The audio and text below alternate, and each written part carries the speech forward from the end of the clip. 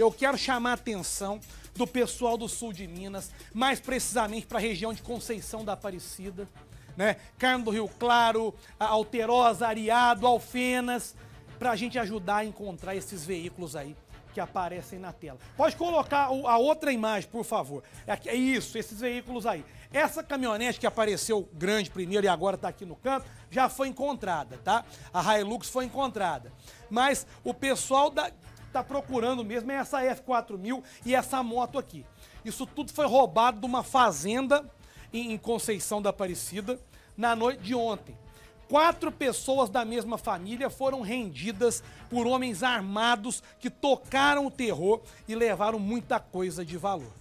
Então, como eu disse, a caminhonete já foi localizada, mas ainda falta isso aqui. Tem saca de café que levaram, enfim, levaram um monte de coisa e tocaram terror. Então os caras aparentemente, aparentemente tiveram uma fita dada nisso aí. Você vai entender por quê na reportagem. Põe no Cidade.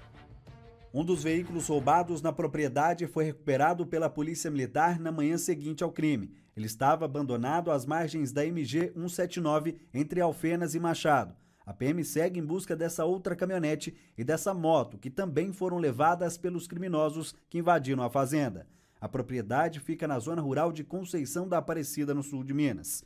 Um assalto violento, segundo descrito pelas vítimas à polícia. Os proprietários da fazenda contaram para a polícia militar que os criminosos chegaram no local pouco antes das sete da noite. O casal estava na casa com dois filhos quando quatro homens invadiram a residência. Todos estavam encapuzados e renderam a família com violência. Primeiro alvo deles foi um adolescente de 14 anos, filho dos donos da fazenda. O garoto teria sido empurrado e chutado. O mesmo aconteceu com o pai dele, um homem de 57 anos. O bando ainda teria rendido a esposa do proprietário, uma mulher de 49 anos, e uma jovem de 24 anos, filha do casal.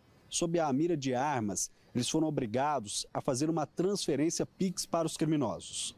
De acordo com a polícia, o valor enviado foi de 20 mil reais. Não satisfeitos, os ladrões ainda foram até a garagem da propriedade. O primeiro veículo a ser levado por eles foi essa caminhonete, que estava carregada com 35 sacas de café, uma carga avaliada em quase 50 mil reais. Ainda de acordo com a polícia, o proprietário da fazenda chegou a passar mal enquanto era rendido. Os criminosos ordenaram que a filha do homem buscasse um medicamento para ele. A jovem teria sido levada até um quarto sob a mira de armas. No caminho, ela ouviu o barulho de uma quebradeira na casa. Eram os outros ladrões em busca de objetos de valor.